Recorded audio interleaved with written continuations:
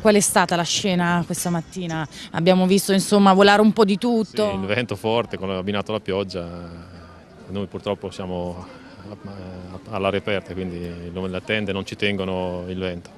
Le ha rovinate? No, a me, a me no, dopo non so gli altri, ma credo a nessuno penso. A noi no, fortunatamente non ce li ha provocati perché siamo riusciti a chiudere tutto in tempo e aiutandomi sinceramente anche la gente è venuta a aiutarci. Sì, eh, mi vogliono bene.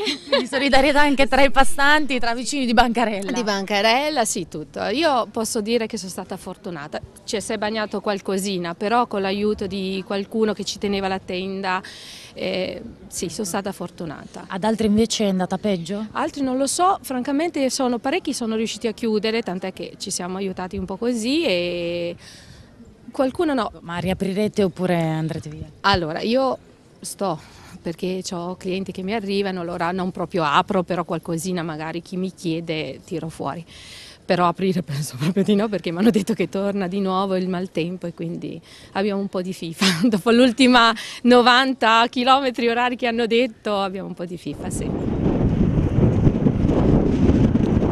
Avete deciso di chiudere o aspetterete No, qualche aspetto istante? Oramai, oramai aspetto, sì. Ho già aperto tutto, quindi. Vi ha provocato danni questo vento forte? No, però alcuni sì, vedi gli ha rovesciato la roba, sì, sì. No, a noi no.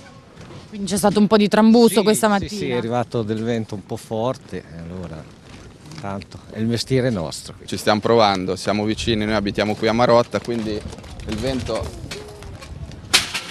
il vento è forte, ci stiamo provando, comunque non rovino nulla, eh, se si bagna sono pochi pezzi, quindi non è che faccio tanti danni. Ecco. Quindi si continua, si, continua, tiene... eh, si lotta e si chiude l'ombrellone, se no mi vola via.